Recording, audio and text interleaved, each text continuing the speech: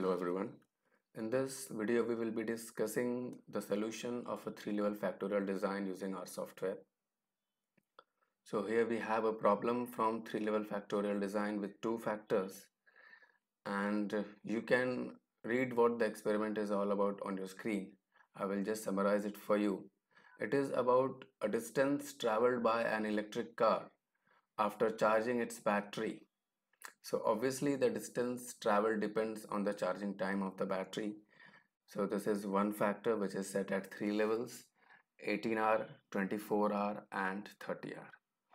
The other factor is operating speed the speed at which the car is run. This factor is also set at three levels 56 kilometer per hour 72 kilometer per hour and 88 kilometer per hour you can observe the design is replicated twice because for each treatment combination we have two observation. That is in each cell if you observe we have two observations so the design is replicated twice. And we start with feeding the data. So first we feed the first replicate and then the second replicate. And then we'll, we will be feeding the levels of the factors accordingly. Actually to solve this problem I have already already written all the codes which uh, which you can see on the screen. I will just explain you all these codes and their execution. As I said we will be first feeding the replicate 1 and then replicate 2. So replicate 1 is actually saved in the object dist 1. Dist stands for distance and replicate 2 is fed in object dist 2 and if you notice we have fed the observation row wise. See 330 355 380 335 330 355 380 335 so first we are feeding the first observation in each cell row wise and as a replicate one. And then second observation in each cell row wise as a replicate two. This knowledge about the feeding of the data row wise or column wise will be required while feeding the levels of the factors. Before uh, feeding our levels of the factor, we combine these two objects dist1 and dist2 in the object distance using the concatenate function. And our yield we define as yield equal to dist1 plus dist2 so from our knowledge of factorial design we know that yield is simply addition of the replicates so dist1 and dist2 is addition of these two replicates and this will give us the yield of the treatment combinations. So let us first execute these four rows of dist1, dist2, distance and yield. Now we feed our first factor operating speed. If you look at the data, the way they are fed, the first replicate is 330, 355 and 380. All these three observations correspond to the first level of operating speed 56. And then next three observation 335, 377 and 390 correspond to 72 and then 326, 390 and 388 correspond to 88. So the corresponding levels for the first replicate will be 56 three times 72 three times and then 88 three times. And then the same pattern will be repeated again for the replicate 2 so if you see we define operating speed as repeating this vector of 56 72 88 each of these numbers will be replicated uh, three times 3 3 3 or repeated three times and then this entire sequence is again repeated two times using the syntax REP. So I'm going to execute this and we will see how the data is fed for operating speed. So you can see here in the console window the levels are 56 56 56 then 72 three times then 88 three times again 56 three times 72 three times and 88 three times now because we want to run ANOVA, so this factor operating speed must be converted into a categorical variable. Otherwise, it will be read as a continuous variable and software will run regression instead of ANOVA. So in order to achieve this, we use the syntax factor. so the code is op speed is equal to factor of op speed op speed in parenthesis this will convert the factor or object op speed into a categorical variable. We execute this. Now we need to feed the levels of the factor charging time. We know the observations are fed row wise. So first, first, so for first three observation 330, 355 and 380 the levels of charging time are 18, 24 and 30 and then for next three set of observations 335 377 and 390 the levels are 18 24 and 30 and then for last three sets of observation again the levels will be 18 24 and 30 and then this entire sequence will be repeated once again for the next replicate. So our sequence of the levels of charging time should be 18 24 30 and it should be repeated actually six times 3 for 3 rows and then again 3 for the next replicate. So we define charge time equal to, we use the repeat syntax and the vector 18, 24, 30 will be repeated 6 times. So we execute this and see how our object charge time looks like. See 18, 24, 30, 18, 24, 30. It's repeated 6 times. Now again we need to convert this object charge time also into a categorical variable or categorical factor using the syntax factor. So charge time equal to factor of charge time. And this is also executed. Now we define our model using the syntax lm which stands for linear model. And our arguments are distance tilde charge time star op speed. Now this star actually stands for multiplication which means a design with interaction will be fitted. If instead of star we would have plus, then a design without interaction would be fit. But we want a design with interaction, so now we will keep star as it is and let us execute this now it is executed as you can see in the console window and now we want the ANOVA of the model the syntax is ANOVA of model model in parenthesis. And if we execute this we can see the ANOVA table charge time here operating speed as the source of variations and the interaction between the charge time and operating speed and then the residuals so charge time has 2 degrees of freedom operating speed 2 degrees of freedom the interaction 4 degrees of freedom residual 9 and then we have the columns of sums of square mean sum of squares f value and p-value. We can observe the p-value for charge time is too small so it is significant and for operating speed also it is very small so operating speed is also significant but the interaction term is insignificant as the p-value for it is very large. Now if we want to write the ANOVA table for the components of the main effect and interaction effect then obviously the software is not giving us that kind of ANOVA table so we need to write the code for it ourselves. And for that we will be requiring the contrast because the computation of sum of square requires contrast. And the computation of contrast requires the coefficients of the contrast. And here in the theory we have coefficients of the contrast. So this row here correspond to the coefficients of the contrast for linear effect of A then for coefficients for contrast of quadratic effect of A is given by the second row. So we are going to feed this matrix of contrast. So what I'm going to do is simply copy paste this coefficients in R software which is of dimension 8 by 9. We have 8 rows and 9 columns. So here we have copy pasted the entire matrix of coefficient as they are and we use the syntax matrix to define our matrix and we save this matrix in the object coef underscore matrix stands for coefficient matrix. And 8 and 9 are the arguments for the number of rows and number of columns and yes we want these numbers to be fed row wise so I make the argument to by row equal to true. So this will define my coefficient matrix. I execute this, I press Ctrl plus enter. Now this is executed. So now let us see how our coefficient matrix looks like. So I execute now coef matrix and you can see our coefficient matrix in the console. Now the computation of the contrast will require a vector of yield which is actually value of 1a a square b a b a square b b square ab square and a square b square. These are the yield and notice that they must be fed in the standard order. This is also called Yates order.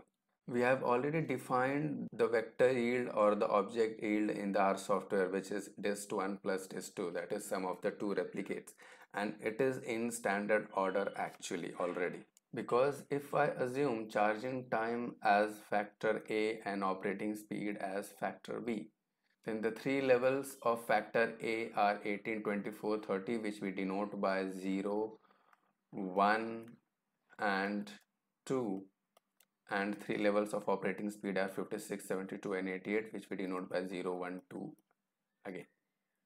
So the sum of the observations in this cell which correspond to the level 0, 0 of the charging time and operating speed that is factor A and B is yield on 1 then sum of these two observation is yield on a and then sum of these two observation is yield on a square.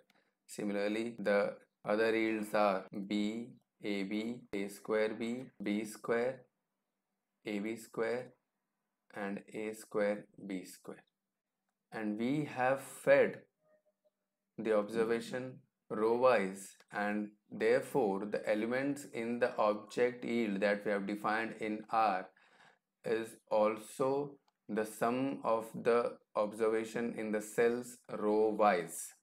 So actually the elements of the object yield are 1a a square b ab a square b and then b square ab square and a square b square which is standard order or Yates order. So now our contrast vector will be simply the matrix multiplication of the quotient matrix and yield which we find as coefficient matrix percentage star percentage.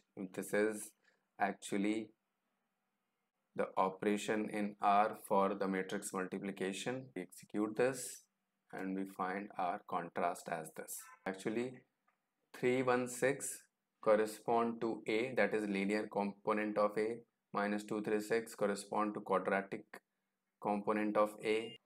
Then 138 is linear component of b minus 44 is quadratic component of b. And then last four contrast are the components of interaction between a and b. The quotient matrix may not always be readily available therefore we need to develop an alternative way to define the quotient matrix which will be helpful for us if there are more number of factors and we will be able to define the quotient matrix easily.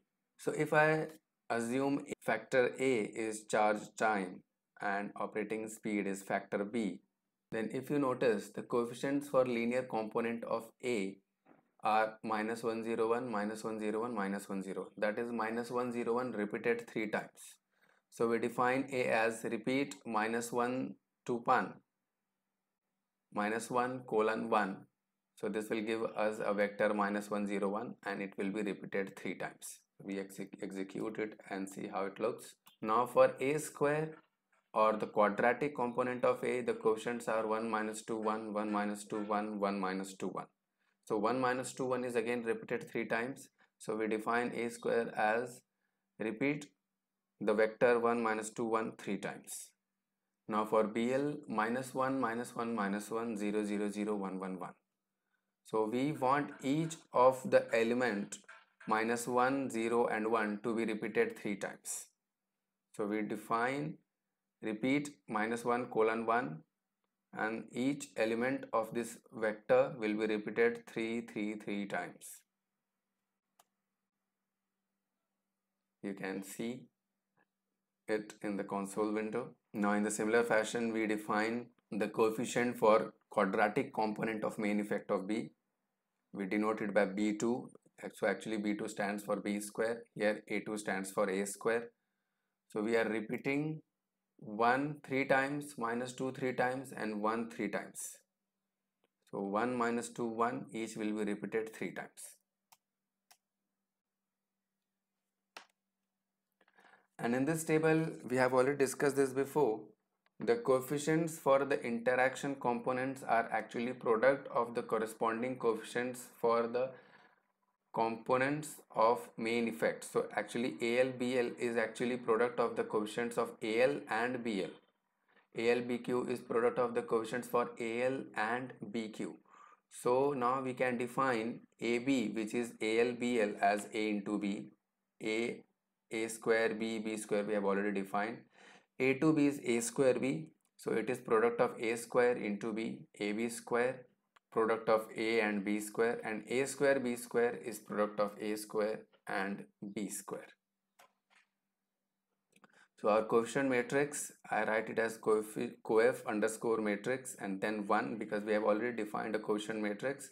So I need to save this matrix into another object. We define using the syntax rbind. We execute this now and we can see our coefficient matrix same as the coefficient matrix that we had fed before by feeding every single element. So this new coefficient matrix is actually same as the last one. So this was only for the demonstration purpose. We have already computed the contrast and now we need the divisor to find the sum of square in this table, we have also given the divisor for the sum of squares. So for AL it is 6n, for AQ it is 18n, for BL it is 6n and so on for the others. So n actually stands for the number of replication of the experiment. In this case it is 2. So the divisor will become 12, 36, 12, 36, 8, 24, 24, 72. So we have fed these divisors in a vector in R in the object divisor like this. Alternatively, we can also define the divisor using the formula d equal to n times 2 raised to h into 3 raised to k minus p. This formula may prove to be useful when we have large number of factors and we cannot keep feeding the divisor for every component because we will be having large number of components. In this formula, H is the order of the interaction, K is the number of factors in the design and P is the number of factors in the interaction contributing linearly. So for our particular experiment, N is equal to 2 2 raised to h into 3 raised to 2 minus p because k is equal to 2 we have only two factors. Now let us define the variable h and p on which our divisor d depends. So actually we have to find the divisor for these components here a a square b b square ab ab square a square b and a square b square. So let us first define the order of these components so for first four components a, a square, b, b square, the order is 1. And for the last four components, the order is 2, ab, ab square, a square, b and a square, b square. So we define our h as repeat 1 and 2 each 4 times. So let us execute this. So see, now we need to define the number of factors in each component or interaction that contribute linearly. In A, A is the only factor and it is contributing linearly. So the value of P is 1.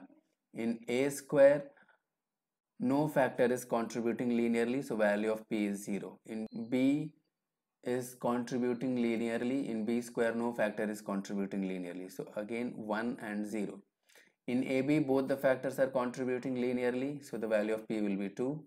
AB square and A square B, one factor is contributing linearly. So 1 and 1 and in A square B square, no factors are contributing linearly, so the value of P is 0. So let us execute P.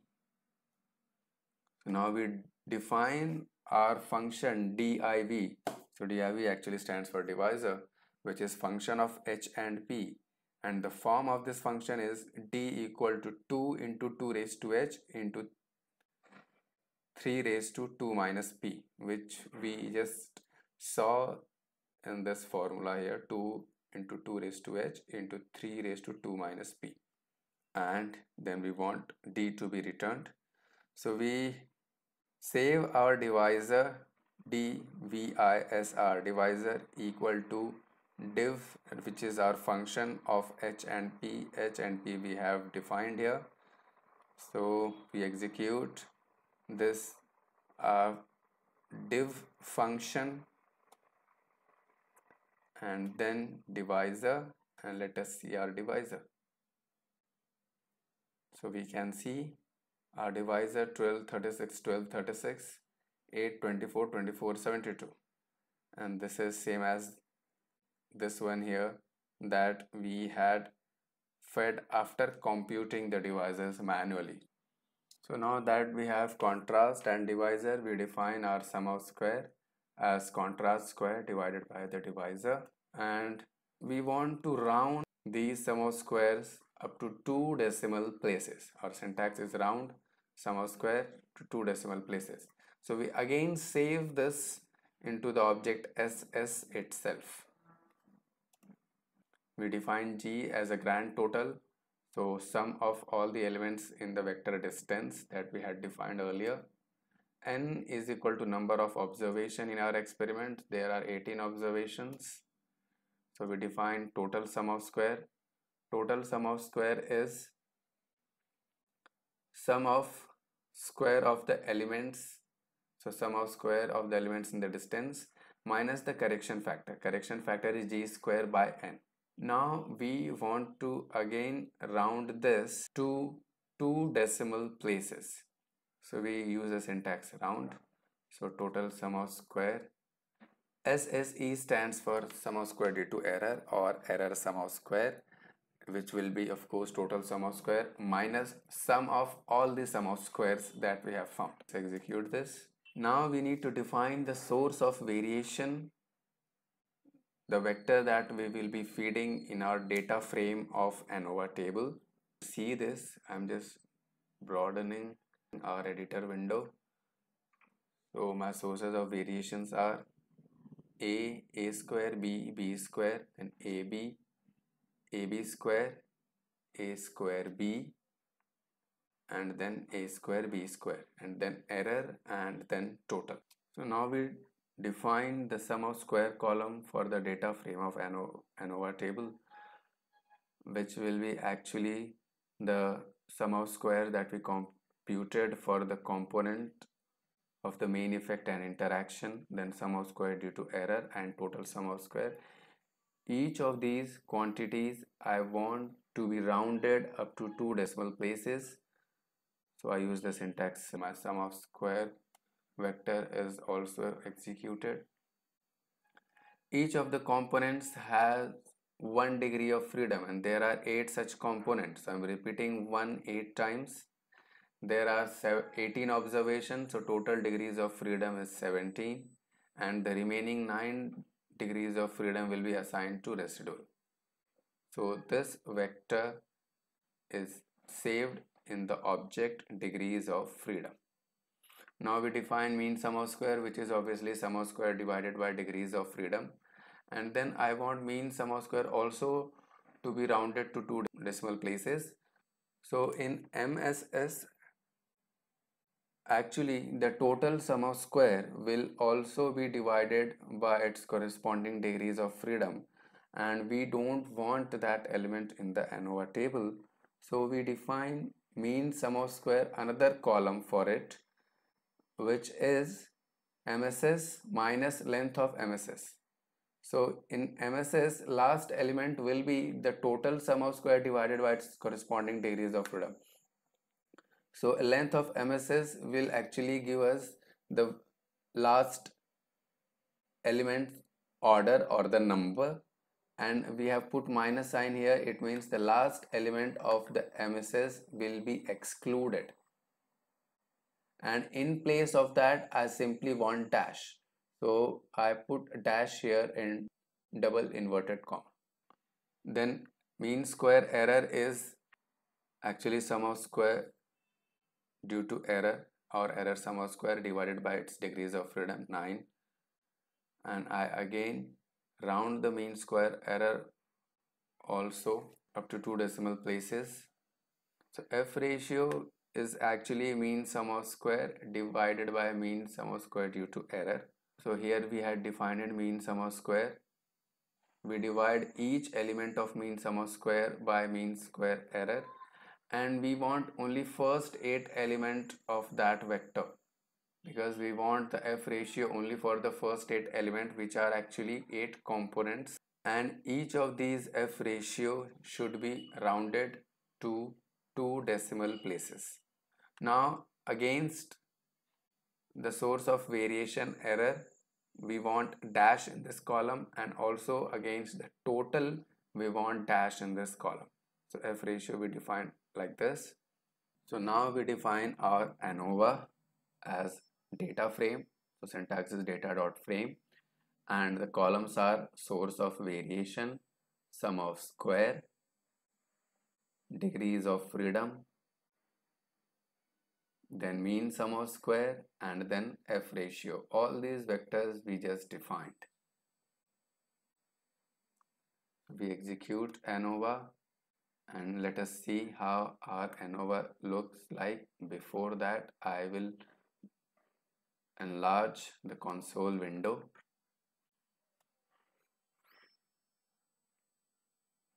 because the heading of the columns are large so actually the last two columns are brought down. So see here we have source of variation then sum of square then degrees of freedom then we have mean sum of square and then f ratio. This f ratio must be compared with the f quantile or quantile from f distribution with degrees of freedom 1 and 9 and level of significance alpha. So i use the syntax qf quantile from f distribution. Lower tail probability will be 0.95 because the level of significance is 0.05 so actually it is upper tail probability. So I define lower tail probability as 0.95 if you want to use 0.05 you have to use the argument lower dot tail equal to false. Degrees of freedom are 1 and 9 let us execute this.